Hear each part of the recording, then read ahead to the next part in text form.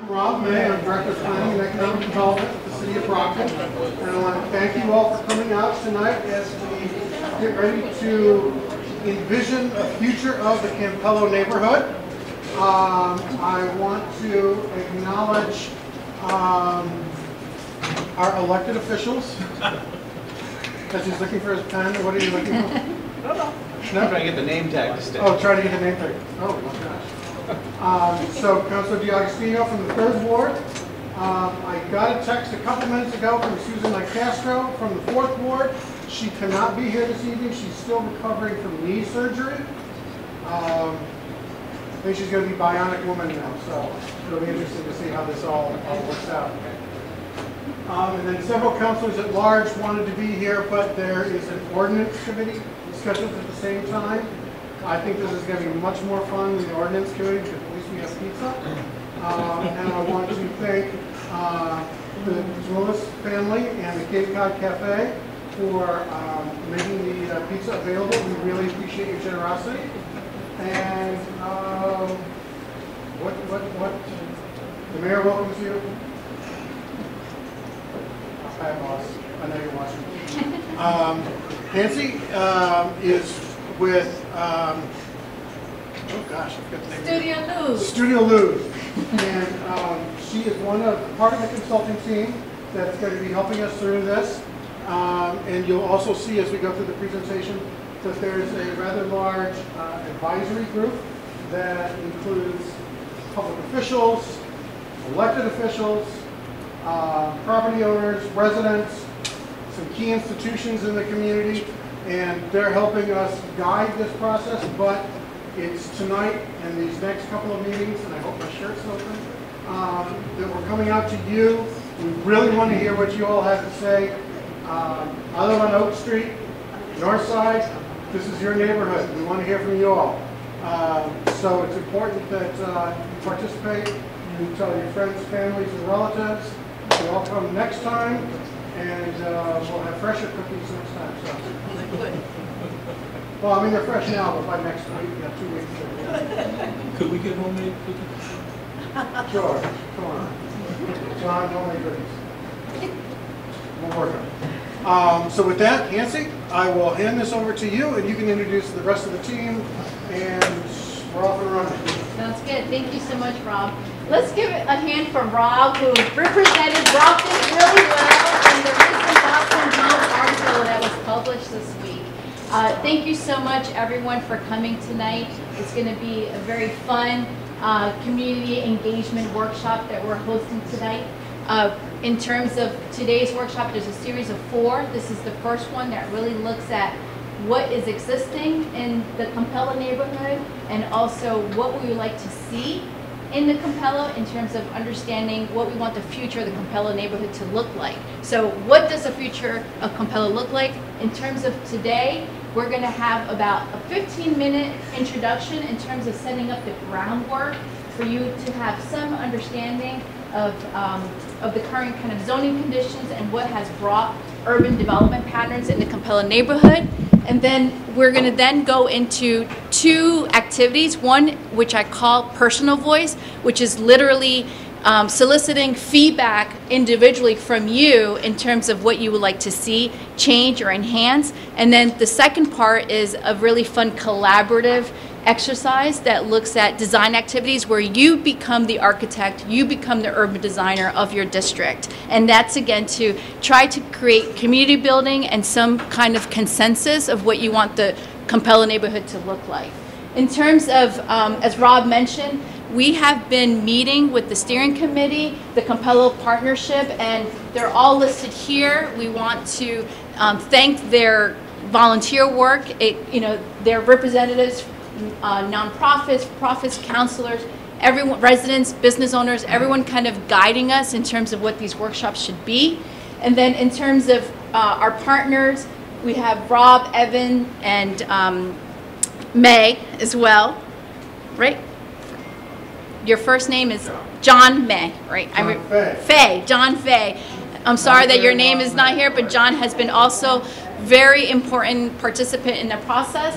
And then we have, um, this, this is being um, funded by Massachusetts Housing Partnership And then in terms of our team, you met Joshua. Joshua, right here. So say Joshua is from Studio Luz Architects, and Joshua is going to facilitate and assist you if you need some help with markers, notes. And then Sophie as well is a facilitator, and she's from Studio Luz Architects, part of the team. And then with us, working with us in terms of design team is Ines, associate. Em- Emily is not here, um, but she, you will see her in the future kind of workshops. And with us in terms of partnership is also Eric Halvorsen from RKG Associates, and he's going to also present the data that he collected of the community. Um, so again, the mission is what does the future look like so we can begin to incorporate into the neighborhood plan and also allow us to provide kind of strategies for the rezoning of the area and also to update the zoning to what exists because we already know it's a little bit outdated. In terms of um, the, the, the district, the Campello neighborhood that we're looking at, it's right here. And just to let you know, in terms of the state of Massachusetts, Brockton Campello neighborhood is classified as an environmental justice population. And what that really means is that a majority of this district um, has 20, at least 25% of foreign-born. So it's important to know the demographics that is in this area. And then in terms of the green area to the southern portion, you that community has um, English as a second language. So this is important information to know. And then to the the east side, you have also um, income to consider. So the income meaning that 65% um, of that demographic is at the medium Massachusetts household income or less. So why is this important? It's important that when we develop the district, we might think about affordability, right? Like this 25% of your demographics um, hits the medium household income, uh, might be foreign born. Like, how do you begin to also um, work with that demographic population and as, as well kind of the, the trends of changes that we're seeing in Brockton in terms of higher income. So this is just in terms of framework for, um, for you to understand in terms of the area. In terms of the um, assets that you have along Main Street, in the southern Main Street, you have beautiful open space that I would say is currently underutilized. So how do we begin to activate the Salisbury Plain River, which right now is existing as an asset, but it's not necessarily um, kind of expanded upon? Or how do we begin to work with Keith Park currently in terms of programming to bring activity, family-centered um, uh, activity in the area? And then again, how do we tackle the lots at the MBTA that, you know, what is the best kind of usage um, in terms of activities that supports this kind of vacancy, you know, that sometimes you see um, when, you know, when it's not high use of, um, of transit kind of um, uh, scheduling. So in terms of, you know, uh, the, the Main Street area, which is mainly our focus, you, um, in 1880, this is a map of 1880 of the neighborhood. And what you see historically is a lot of mill buildings. And so we today see some resonance of that through our historic buildings.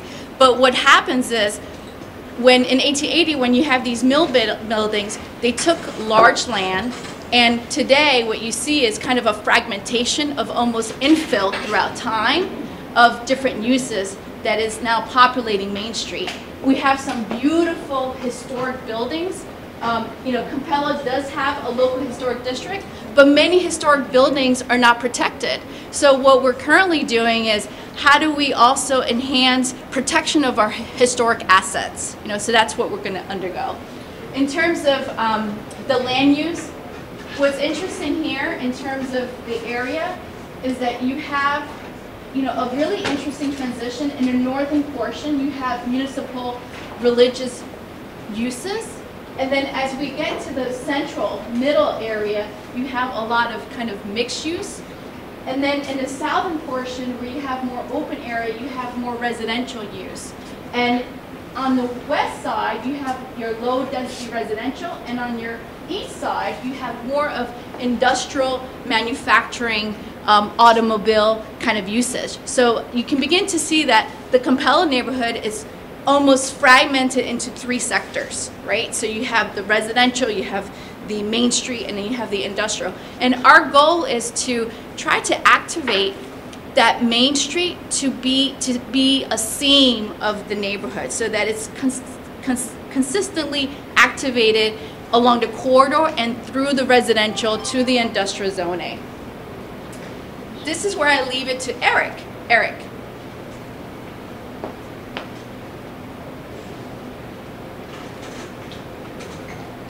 Yep. Hi, everyone. I'm Eric Halvorsen from RKG Associates, part of the consultant team. I just wanted to take a few minutes to share with you just a little bit of the information that we've collected on the neighborhood demographics. Um, We're hoping that that information will just help set the stage for the conversation that you all will have at your table around what you'd like to see in the neighborhood. But we thought it might be good for you to potentially think about some of the demographics and the changes that the neighborhood is going through, or sort of who lives here today versus who was here five or 10 years ago, as you start to think about the future of the neighborhood. So one of the interesting things um, that we found, and you all who might live here may already know this, but Campello is a growing neighborhood and Brockton is a growing city. But the growth in Campello, just from a percentage basis, is actually growing faster than the city as a whole. And it's also demographically growing a little bit different than the rest of the city too. You could see, um, if you're too far away, hopefully you can still see, but uh, the graphic on the left-hand side of the screen shows population change by age over the last five years. The purple bars are Campello, the green is the city as a whole. And you can see in the age groups, um, residents under the age of 18, so children under the age of 18, are growing substantially more in Campello as a share of the population than the city as a whole. Almost by a thousand new residents over the last five years, so that's pretty significant. We see also that um, residents between the ages of 25 and 44.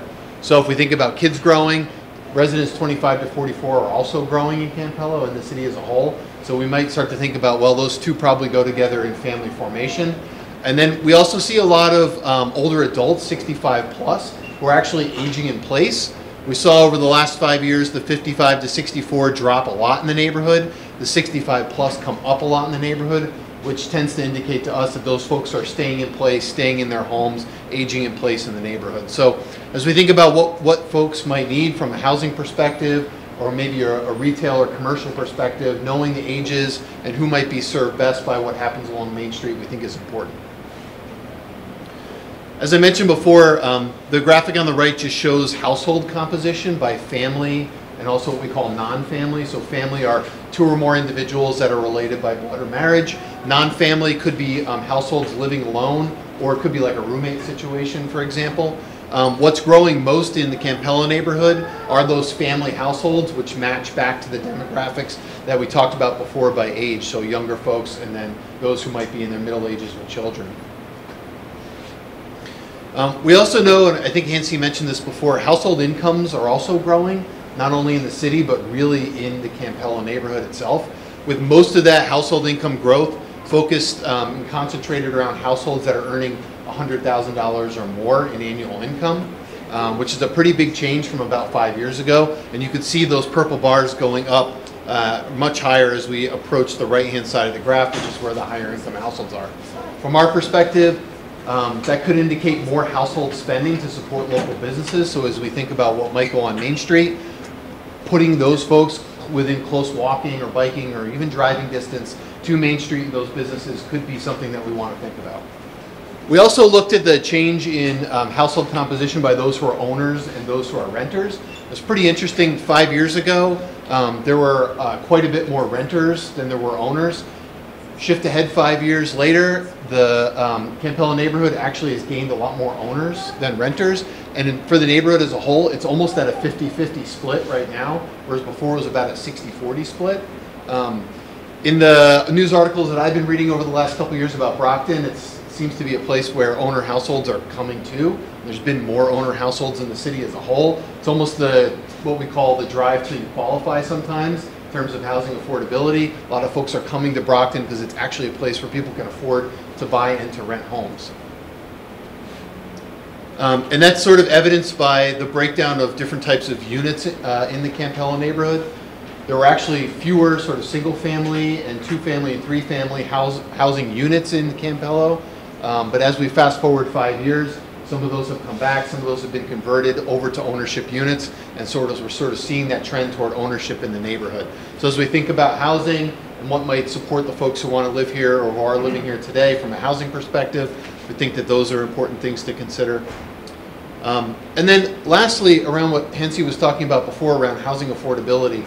We know in Massachusetts there's a pretty major housing crisis. We hear about it almost on a daily basis. Um, and in Brockton, there, that's no different. Housing prices continue to go up, whether you're a renter or you're an owner.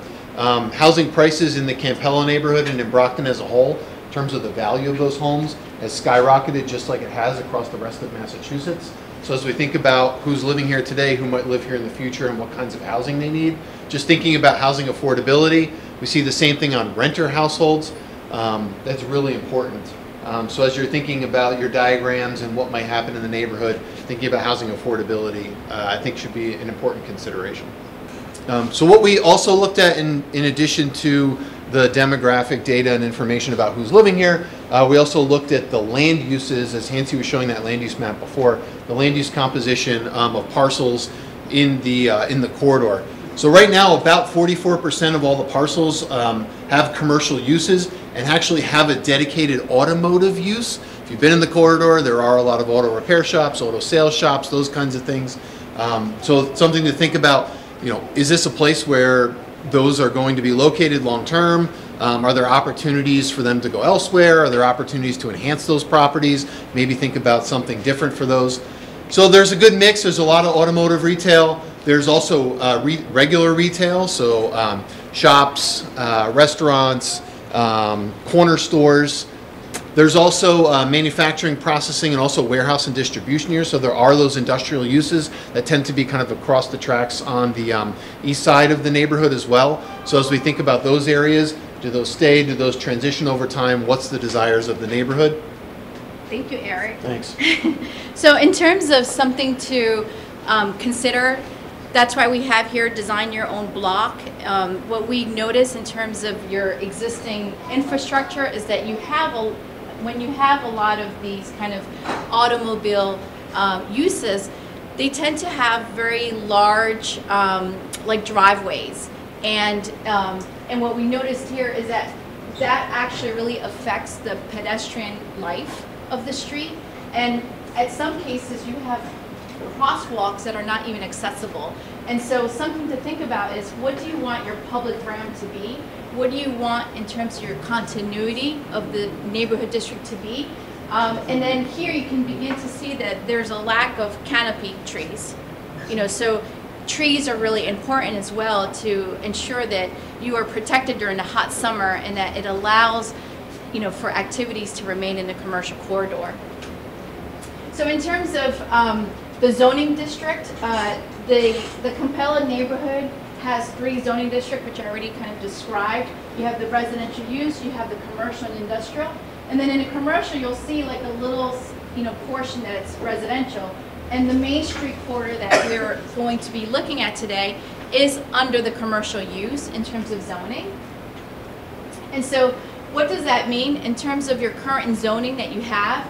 Under the commercial corridor, you can actually have retail, professional service, offices, banks, childcare, churches, schools, education, dancing, music schools, eating, drinking establishments, bakery, catering, frozen food, automobile sales, carpentry shops, hardware, amusement, recreation, theater, radio, TV stations. And then if you were to build a adult daycare or a car wash or a pet store, um, these are going to require a special use permit. So some of the things to think about is, you know, is there any uses in here that you want to remove? Is there any uses in here that you want as a right versus asking for a special permit? And then these uses are not currently in the zoning allowed, which are single-family homes, multifamily, two or three families, healthcare, hospitals, nursing home, mixed use, research labs, distillery, boutique manufacturing. But we know that some of this use exists. So this is where we're saying that your zoning's outdated. In terms of, um, in terms of uh, in the uses, we have 29% which are categorized as low residential density, meaning one or two stories, one stories majority. We have 15% that's multifamily, 12% that's state religious, 12 that's retail, and then 10% each is manufacturing automobile. Office use is only 8%, and then mixed use is 4%. That's very low, right? So do we want to increase retail and um, mixed use. You know, that's something that we want to hear from you today.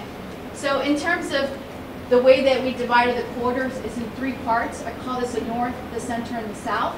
And in this northern portion, just to give you some context, um, again, we have 34% commercial, 28% municipal.